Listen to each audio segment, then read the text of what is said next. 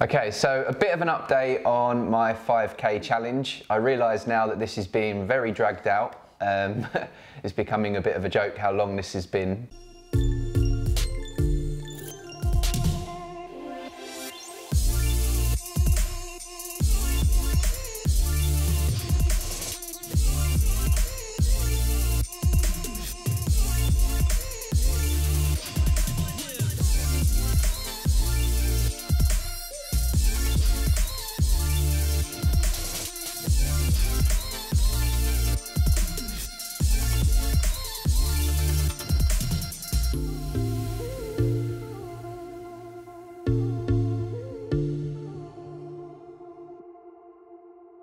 Uh, we've had several interruptions, as you know, early on with lockdowns. We're still in lockdown in the UK. Um, I didn't have access to a track for about six weeks of my eight week challenge, which has now turned into a four month challenge. Um, we went to Dubai, which I was going to do the 5k attempt out there, but then the rules changed in the UK, which meant that we had to fly home quickly. Um, when we got back, we were asked to do the Z Pro series, which I'm now currently doing and I've decided that I'm going to be doing the 5K as soon as that series finishes, which is in two weeks time. I think I'm going to smash it. I'm confident I am. Um, I realise it's meant to be an eight week training program that's turned into a 16 week training program, so I should do a PB. But yeah, doing a 5K max effort on top of the Z Pro series is probably a little bit unsensible. Um, it's maximal effort on the Wednesday evenings with the race and then doing a 5K on top of that. I don't want to risk injury or anything like that, so I will be doing it as soon as that series finishes. Um, good, but not so good when it's like this. It's hard on your breathing as well. I think it's about, what's it, about two degrees at the moment, three degrees? Yeah, three degrees. So yeah, not quite used to that, but we're back, so I can't complain.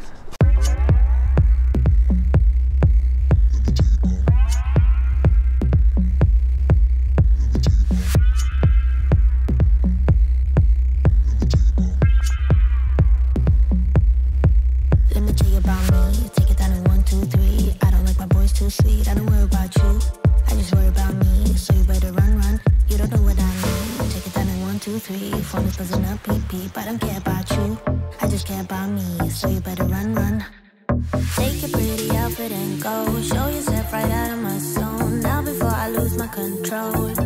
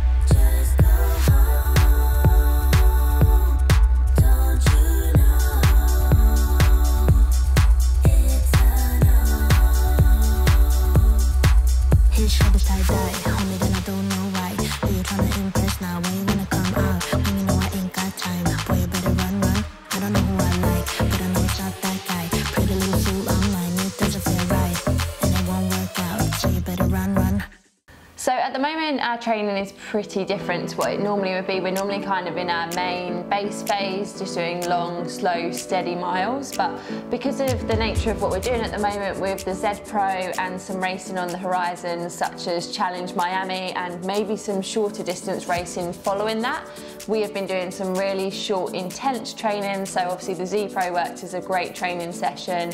We're doing some really hard sessions at the track and we're doing some pretty hard riding on the bike as well. So at the moment, everything is quite short and sharp, very different to what we normally do as triathletes, but actually very similar to what we used to do back in our swimming days. So we both really enjoy this kind of training and get a lot from it but it's a lot less kind of massive miles than we're used to, but I'm actually really enjoying it at the moment. Yeah, this pandemic has kind of made us have to adapt and change our training on the spot. We would normally be in Lanzarote doing a big base phase, as Lucy said, but at the moment we basically just have to race whenever there is a race. and the first one coming up is um, not even a half distance, it's somewhere between an Olympic and a half, which means that we're having to adapt our training to be a little bit more fast and furious. Um, no sign of any Ironmans on the horizon yet, so we are going to pretty much stay in this sort of shorter distance phase until we know for definite that we'll be doing a long course race hopefully sometime in the spring or summer. So with swimming pools being shut in the UK, it's been really difficult for us to swim, but fortunately we've been concentrating on our bike and run. And also, as you can see, we've had some snow, which means most of our training has actually been indoors at the moment uh, which also leads really nicely into this Z Pro series. So we're very fortunate that we've been able to have a setup for pretty much all of this pandemic at the gym. Um, we had the last Z Pro series where we dialed in our positions with the Zwift setup. Lucy's got her setup, I've got mine. The only thing we had to adapt was to introduce another treadmill into the gym that was fast enough for both of us to do the run section on. Um, I had a few hiccups the first week where the treadmill wasn't bolted down properly. Okay, so last week we brought this Techno Gym My Run treadmill into the gym so that both Lucy and I could run at the same time. We do have a second treadmill, but it's ancient and it only goes up to about probably 345 per kilometre, which wouldn't have got me any points at all in this race. So anyway, we brought this in and I had about two good kilometers on it and then after that because it's so light and I was running at a pace on it it basically just dislodged from the floor and was on a complete angle um, so much so that my dad actually had to come and hold it still uh, just so that I could finish the run. So this week we have done a little bit of DIY um, I've attached a plank of wood to, to the side and in front of each leg so it can't go left right and it can't go backwards and forwards. So we're hoping this week actually I'll be able to run on this at a proper pace without the treadmill moving from underneath me. But yeah fingers crossed. Yeah we've got a really good setup and it's perfect for the Z Pro series and also just training in general. Yeah, I think um, you'll probably gather from kind of seeing how much is going on doing the Z Pro. We've got three different races going on. We're racing back to back. There's me racing on the bike, followed by Reece switching around. So it is very chaotic in there, but obviously we're quite lucky. We've got a decent amount of room to move around each other and not interfere with one another. At the moment, I don't even want to jinx it, but we have a pretty good internet connection in there, which is a really crucial part of Zwift racing is that you need to have that fast connection because dropouts just basically mean you're out of the race. So it's another element in the e-racing that just obviously doesn't play a factor in real life racing. So we're very fortunate that we've kind of invested time into setting that up during the first lockdown. We wanted to make sure that that was all sorted. Um, I'm actually running on the Woodway treadmill, which is super tough to run fast on, but it's just that little bit softer. So for me, I'm far more niggle injury prone than Reece, so I'm putting him on the smaller Technogym treadmill, so he has to suffer that moving a bit. I've got the luxury of the Woodway, which is really sturdy, but obviously actually to run at that top end speed on there is really tough. So I'm pretty happy that I'm actually able to run at the speed needed to get those maximal points, even on the Woodway treadmill. So strategy wise with the Z Pro, obviously we've done two weeks worth of the racing. I feel like both weeks I've had slightly different tactics. Um, the first week, the run was slightly less important the way the points were structured, whereas on the second week, Zwift actually changed the rules so it made the run have a lot more importance. So I actually felt like I needed to get those maximal 20 points, whereas the week before I only got 16. So pretty much it came down to the wire on this second week that me, Meredith Kessler and Beth Potter were all tied on points. So the final race was so important. And obviously there's sprint banners in the middle, which did play a factor. And since we were all tied, it meant that the final finish line would determine our position. So I knew I had to go all in on that final one. So it is so much more tactical than racing in the real life. You've obviously got power ups, you've got drafting, you've got all different elements that play a factor. So I feel like every week I'm learning. Um, I still don't think I've got it 100% right, but I'm definitely improving week on week on how I should race these. But the main part, part of all of it is just getting that amazing training session from it. It's just so tough. There's absolutely no way I would work that hard at like 7 p.m. on a Wednesday night normally. So I just love having that really hard workout. Yeah, for me, tactically, I think probably less so than Lucy. I'm just literally going there to try and get the best training stimulus out of it as I can. Uh, so I sort of throw caution to the wind on the first bike and the run. And then I'm a lot more tactical on the last one on the crit race where the points really count. Um, personally, I've just been looking at my numbers from the first week, and on the second week, I was like, right, I want to hit higher numbers on the time trial section than the previous week, and I want to run quicker than the run section on the previous week, and then everything to play for on the final crit race. Yeah, you've got to look good and you've got to match. So I've got, I'm going to go for pink socks tonight because I've put pink details on my Aerium Cube TT bike, so they're matching there and I've got my Wahooligan kit for tonight so that matches my Red Bull helmet and these pretty cool shoes that I've managed to unlock let's have a look where those shoes are they go. Very cool. The stupid thing is though that every single thing is neutralised so it doesn't actually matter what bike I'm on what clothes I'm wearing because they've made sure that we're all even on this. So you want to look the best though, even if you're not doing that well. At least if you look good, then feel good and then probably win.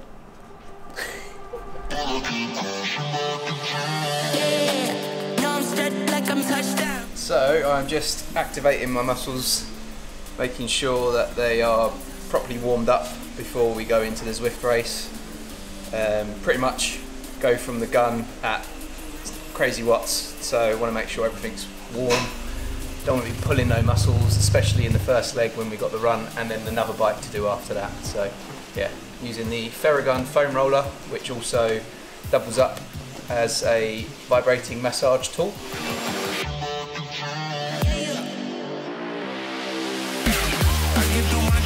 tempo já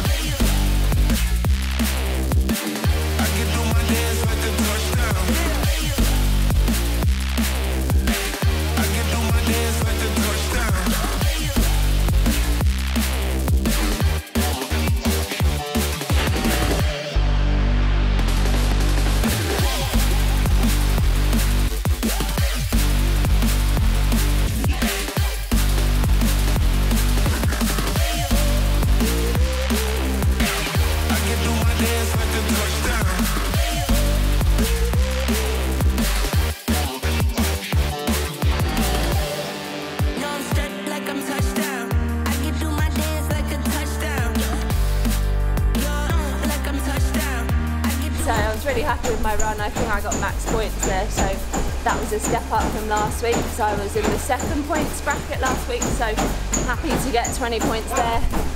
I think I'm somewhere near the front, so this is going to be all to play for now. I'm going to have to go for those KOM arches or the QOM arches. Um, and I think it's going to be brutal. My legs already feel like they're going to cramp up and we haven't started yet, so yeah, we'll just see how it goes. It's going to hurt, but it's going to be fun.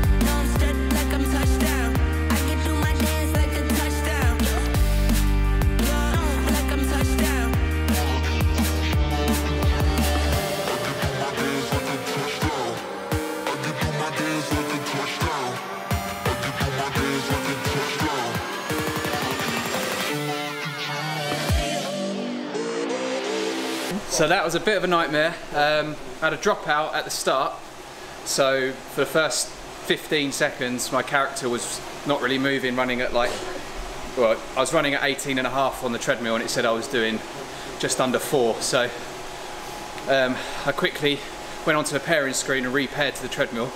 Managed to pick it back up, but lost about 15 seconds. And then I just went flat out, um, thinking I was gonna die at like two or 3K and at least scrape the uh, second tier points. But I felt good, carried on. Um, hit a PB 5k, I know it's on a treadmill, but um, did a 1540 something on the, on the treadmill. So for me personally, I know that my lactate levels are always higher on the treadmill than they are in the real world. So that's a promising sign for the 5k challenge. I'm really keen to do it, especially after doing that run. Yeah, I had a little bit of adrenaline boost there. I was a bit annoyed that my connection lost. So yeah, sometimes sometimes when you have a bit of bad luck and you have an adrenaline, um, you get a little bit of a spike. It's like like if you get a puncture during a race. Um, once you fix that puncture, sometimes you just go numb with like, oh, I've got to get back in the race. So it's a little bit of that kind of thing, but yeah, it's a promising sign and look forward to actually doing it in the real world. onto the bike.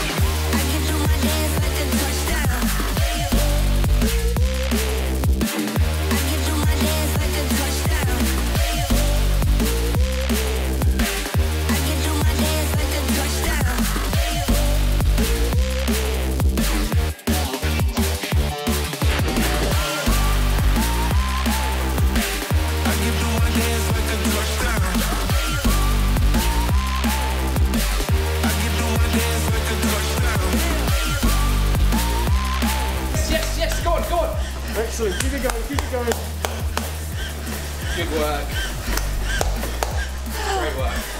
Well done. Well done. Really well. Go, go, go, go, go! Kick, kick, kick, kick! Go on, keep Go, pushing. go, go!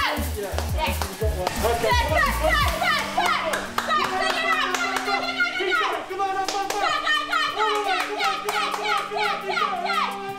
Go, go, go, go, go! Yeah. Well, if you want to get fit quick, this is what you need to do. It's absolutely brutal, like three 20 minute sessions roughly, so you're just going pretty hard for 20 minutes. It's a race, so it makes you just push that bit harder that you never would in a normal training session. It's kind of fun, you can call it kind of fun. Um, it definitely is fun when we're both racing. It's pretty hectic in here because there's several setups going on.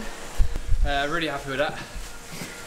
So, uh, small PB in terms of numbers at the start in the uh, time trial, 375 odd watts, something like that. PB on the run, uh, sub 16 5k, 15 40 something. Small dropout at the beginning of that, but managed to claw it back. And then wasn't sure what I'd had left in the end. Just gave it my all on every sprint. Paid off. I think I was second overall at the end, behind Anthony Costas. Um, I can't really say anything more than I'm really happy with that, and I need a good lay down now. Yeah, so definitely the Z Pro series is just a great bit of motivation each week. Like like I said before, we just wouldn't work that hard in a normal training session. So just have that little bit of competition. It, it's just really, really fun actually. Like, and I think I find it more fun because we're both doing it. So we're both just in there suffering together. Um, the only downside is because we've got quite a lot of adrenaline, we've had a lot of caffeine, and we're kind of just buzzing off our head at 9 pm at night when we finish. We just cannot sleep on a Wednesday night. So our sleeping pattern does get thrown out a little bit, although I'm not complaining because I know some of the guys over in like Australia, New Zealand way are racing at stupid o'clock in the morning. So I would rather be racing at night than doing what they're doing. So yeah, hats off to them.